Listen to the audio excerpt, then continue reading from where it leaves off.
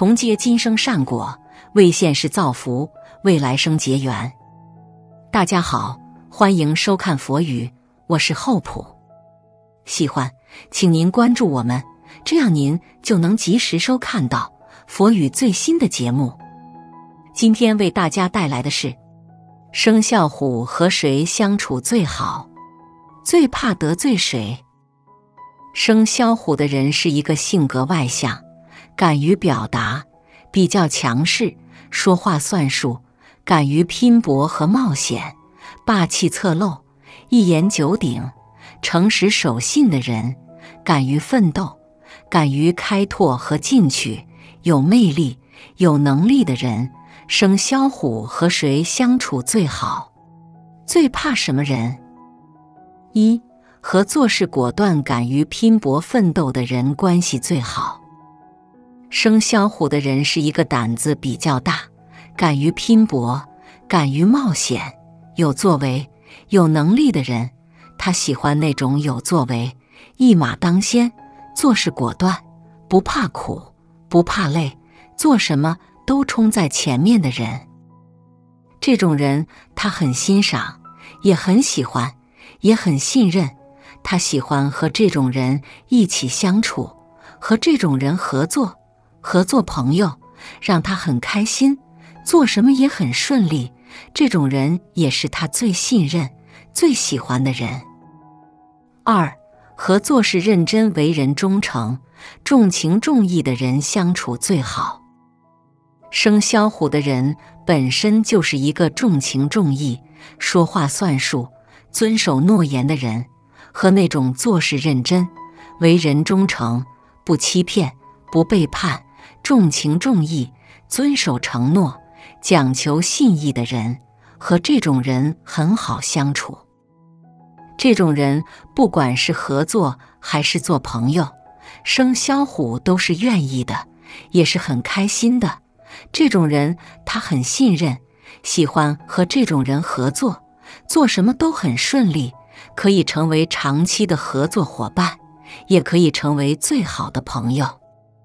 三和心胸开阔、开心乐观的最好相处。生肖虎的人脾气比较急躁，有时候比较冲动，不顾及别人的感受，说话很难听，让很多人受不了。而那种心胸开阔、开心乐观的人，他们不会斤斤计较。和生肖虎在一起时，他们容易原谅生肖虎的冲动，也容易包容性小虎的坏脾气。生肖虎和这种人相处感到很放心、很开心，不会担心得罪人，也不会担心不配合他。他喜欢和这样的人相处。四，生肖虎最怕得罪谁？一。最怕得罪喜欢的人。生肖虎是很渴望爱情的，也是很珍惜恋人的。他在爱情上也是很专一的，他们一心一意对女朋友好，希望给她幸福。但是生肖虎脾气比较不好，有时候说话不好听，得罪了对象，女朋友不理他，也不和他和好，让他感到很难过。也很痛苦，害怕失去自己心爱的人。虽然他也想低头认错，但是放不下这个面子，觉得低头很丢人。等到爱的人转身离开他，他才特别后悔，后悔自己的暴脾气，后悔不应该把爱的人得罪了。告诉自己一定要改进自己，千万不要发脾气，不要得罪爱的人。得到的不珍惜，等到失去了才感到很后悔。二最怕得罪自己的上司。生肖虎的人做事果断，敢于冒险和拼搏，有魄力，敢做敢当。有时候说话太冲，不懂得尊重人，有的时候把上司得罪了，给他穿小鞋，甚至打击报复他。让他失去了提升的机会，让他很难过、很痛苦。他要下决心改变自己，尽量学会说话，学会圆滑一点，说话不要这么直接。可是性格是很难改变的，都是天生的，让他又很烦恼，也很无奈，不得不接受现实。江山易改，本性难移。三最怕得罪自己的朋友，也怕得罪自己不喜欢的人。生肖虎的人对朋友很友好，很热情，他们做事果断，做什么都冲在前面，让他抓住了很多机会。但是要想成功，靠自己是很难的。他们也需要朋友支持帮助，如果朋友不帮助他，不支持他，他很难成功的。所以他也很怕得罪朋友，害怕朋友转身离开他，不支持他。他一去无成。生肖虎千方百计的对朋友好，希望朋友信任他、喜欢他。为了朋友，他愿意改变自己，希望朋友越多越好。他成功的也是顺利，也怕得罪自己不喜欢的人，比如他怕得罪生肖蛇，是一个很爱记仇的人，也是一个能力很强的人。如果他把生肖蛇得罪了，问题很严重，没有他的好果子吃。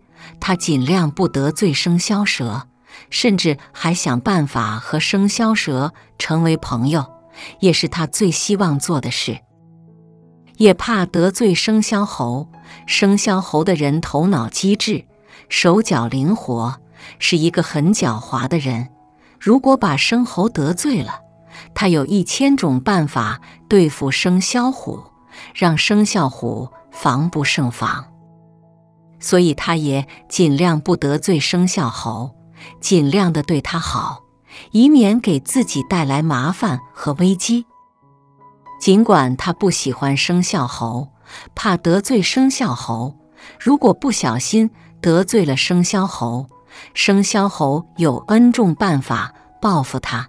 让生肖虎防不胜防，所以他尽量不去惹生肖猴，甚至试图和生肖猴成为朋友。可惜却很难。在我们和别人相处时，语言是交流的工具，也是一种艺术。会说话的人，在工作和事业上比较顺利，在感情上也更容易得到。有的人虽然能力很强，也是一个内心很善良的人，但脾气暴躁，说话比较生硬，不懂得尊重别人。这种人很容易得罪人。如果把人得罪光了，那么他几乎没有朋友，那才是最痛苦、最无奈的。所以，不管任何人本事多么大，也不要轻易的得罪别人。应该团结一切可以团结的人，为我所用，才是最聪明的。